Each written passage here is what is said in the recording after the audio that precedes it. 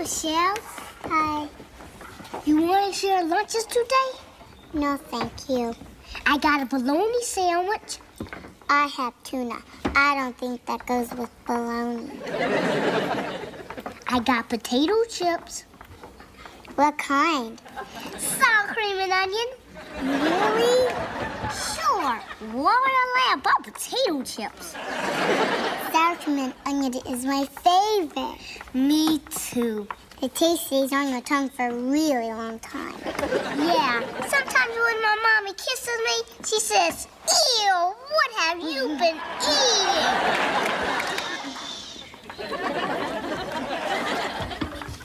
We're making teas. Wanna cross mine? Cool. You're good.